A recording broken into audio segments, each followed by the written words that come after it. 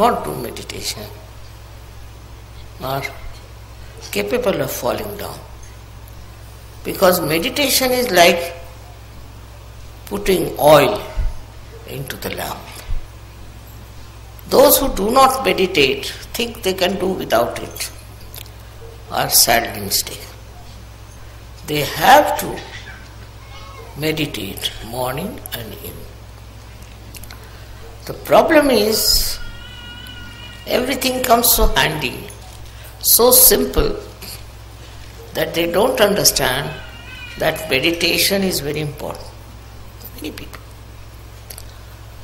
Not you, but there are many I know who get realization, mm, don't meditate. And their style is different. Their nature is different. Meditation is such a soothing thing, such a beautiful way of connection with the divine that all your problems get solved in that meditative mood.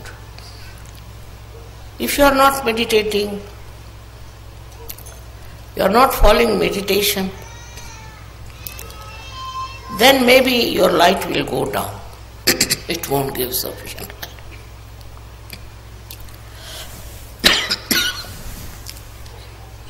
is important, very important, to find out about yourself, about others in the meditation. How to do meditation? Many people ask. Don't do anything. To just go into thoughtless awareness. Try to go to the thoughtless awareness. If you can get into that condition of thoughtless awareness, you've done your job. Because that's the point where you are with the truth, with the reality, with the joy, with everything that is so fundamental. When you meditate, try not to not to make some sort of a function out of it. No. Meditation is something silencing yourself, silencing your thoughts, and going to that deep ocean which is within you itself.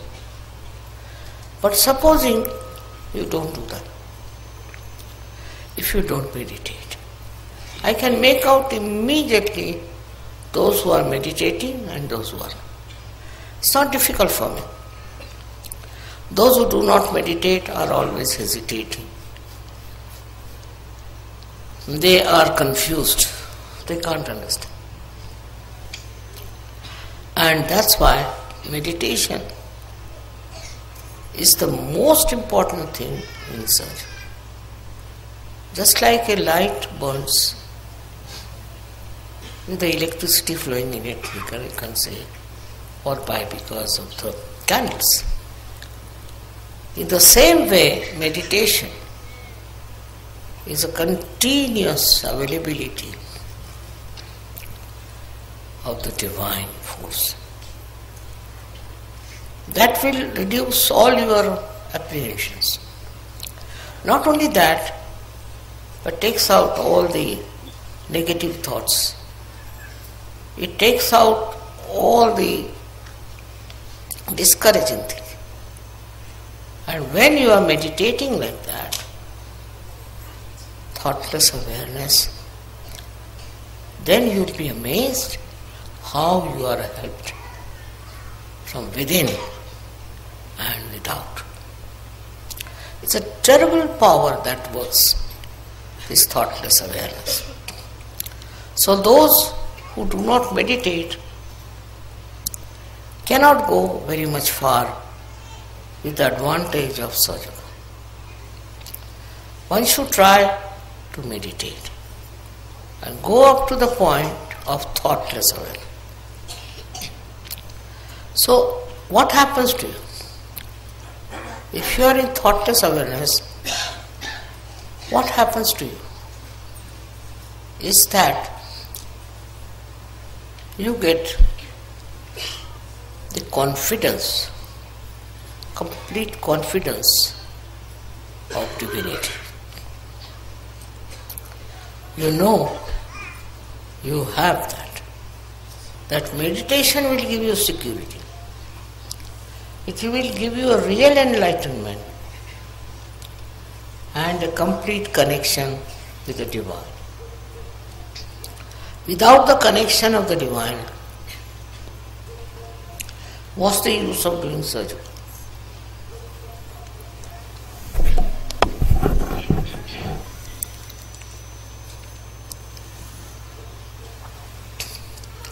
I know the people